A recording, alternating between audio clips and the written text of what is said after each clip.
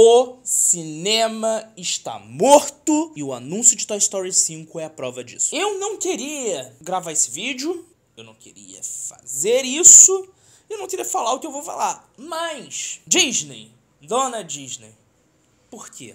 Quando o cinema surge, lá em meados de 1900 e bolinha 4, na verdade, 1895 foi quando o cinema surgiu, mas lá em 1900 e bolinha 4, 1901, 1902, até então o cinema era uma arte feita por pessoas ricas ou por pessoas que tinham boas relações e que conseguiriam bancar uma câmera. Com Thomas Edison e George Méliès, o cinema começa a ganhar conotações de indústria contra e toda uma rede de pessoas, atores, músicos, é, câmeras, figurinistas, maquiadores, começam a surgir muito inspirado e muito roubado, podemos usar essa palavra, do teatro.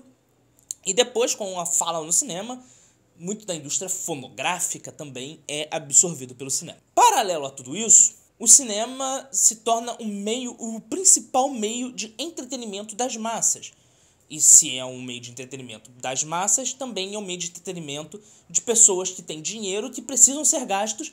Então, o cinema começa a absorver também a propaganda. Então, começa a surgir filmes com únicos propósitos, com o propósito de vender ideias e produtos. Vamos pegar um vídeo recente que eu fiz falando sobre o Top Gun, que até vou fazer uma errata aqui, que eu falei em é, exército americano, quando na verdade era marinha dos Estados Unidos. Mas que são filmes que são feitos para criar uma propaganda para o exército, a marinha e convencer pessoas a se alistarem naquela unidade militar.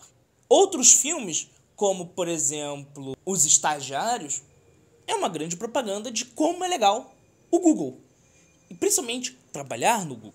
Mas tudo bem, até aí não tem, eu não tenho problema nenhum com filmes de propaganda.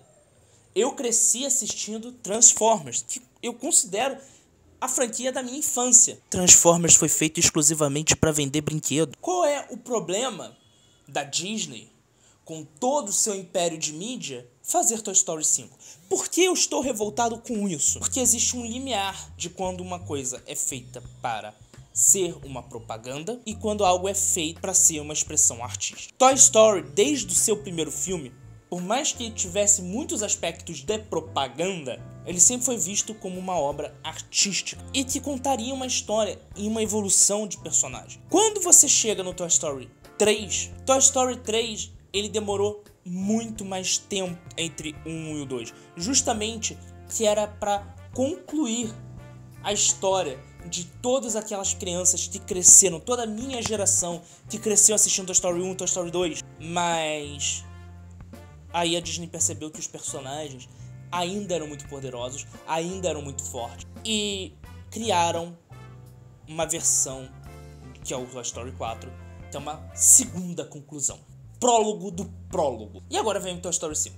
Frozen, eu não vou nem entrar no assunto, que foi também anunciado Frozen 3, o livro A Rainha do Gelo, acho que é esse o título, de Richard Anderson, Richard Anderson. Ele é um livro simples de contos de fadas e que se tornou uma grande franquia para Disney e beleza. OK, mas agora é o ponto que me deixa triste como cineasta. Os grandes estúdios cada vez mais apostam no seguro cada vez mais apostam em vender produto e se tornarem donos de suas propriedades intelectuais mais fortes do que investir em novas ideias. Você vai falar, ah, mas Hugo, isso é um problema do capitalismo e tal. O cinema, desde sua essência, ele é uma arte capitalista. O cinema não existe como nós conhecemos hoje, não existiria como nós conhecemos hoje, sem o capitalismo.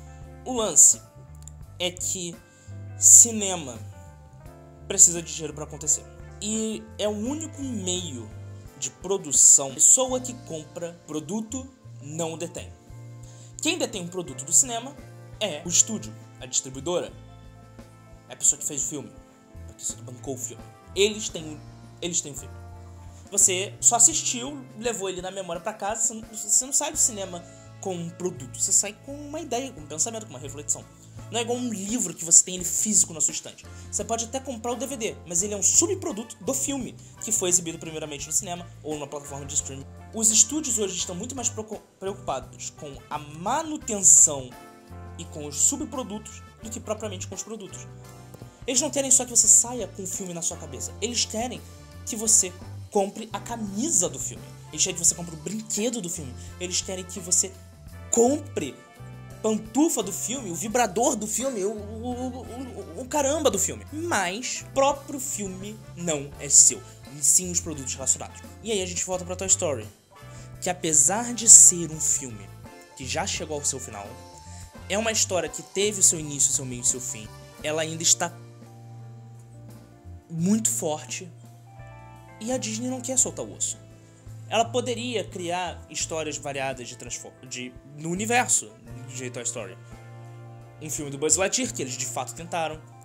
Uma série do Woody, simplesmente não cogitaram. Mr. Potato Head, os direitos não são tecnicamente da Disney, mas é da Disney. Eles poderiam fazer outras coisas, mas não. Ah, eles preferem fazer a manutenção da franquia Toy Story, fazendo mais filmes de Toy Story, para gerar mais brinquedos de Toy Story, para gerar mais DVDs de Toy Story, para gerar mais streams de Toy Story, para gerar mais vertentes para saturar a franquia, que é a minha crítica o que aconteceu com Star Wars, que é uma franquia que eu cresci assistindo e que eu amo de paixão, mas que está tão em exaustão que sinceramente, depois do último filme, eu não sinto vontade nenhuma. Eu não assisti Mandaloriano, não assisti nenhuma outra série que surgiu, porque eu cansei de Star Wars. Quando eu quero ver alguma coisa de Star Wars, eu pego os filmes originais do George Lucas. Até Ameaça Fantasma eu topo mais assistir do que essas novas coisas. Mas porque depois que o George Lucas mostrou para o mundo que os estúdios podem ganhar dinheiro não somente com o filme, mas sim com tudo em volta dele, o cinema começou a morrer. Antes era uma grande arte feita por pessoas ricas que tinham tempo livre. Com o tempo, ela se tornou a mais democrática forma de união entre pessoas e famílias. As pessoas sentavam no filme e saíam conversando com estranhos sobre discutir sobre aquilo. Muitas amizades foram feitas pelo cinema. Muitas carreiras surgiram e foram inspiradas por conta de filmes. Os mesmas franquias que eu curtia serão as que meus netos. E sinceramente, isso não é legal. Porque o filme é a marca de uma geração e de um estilo de vida. De um estilo e de uma época em que ele foi concebido. Qual é a vantagem de você replicar tudo? É simplesmente um lucro para o bolso dos CEOs das grandes estúdios. Eu não estou falando que é errado os estúdios ganharem dinheiro com os filmes. Não. Isso é triste saber que cada vez menos eles estão mais preocupados com dinheiro fácil e rápido do que incentivar a criação, a criatividade e o surgimento de uma nova franquia. Esse foi o Nerdhead Podcast de hoje. Vejo vocês num outro vídeo. Se vocês quiserem ver mais vídeos, opiniões, reflexões minhas, tem uma playlist. E se, claro, se você estiver assistindo pelo YouTube, tem uma playlist aparecendo aqui na tela. Se você estiver assistindo pelo TikTok ou simplesmente ouvindo a versão em áudio no Spotify ou no seu agregador de podcasts preferido, eu me despeço de vocês e eu só peço que vocês me acompanhem no TikTok, Nerdhead Podcast no TikTok. Vou deixar o link aqui no comentário fixado do YouTube e também no link aqui no Spotify, no seu agregador de podcast preferido. Porque passando o carnaval, eu tenho algumas notícias sobre esse projeto que eu espero que vocês gostem. Nossa, eu fiquei triste com o final desse vídeo, mas faz parte. Obrigado por assistir até aqui. Um forte abraço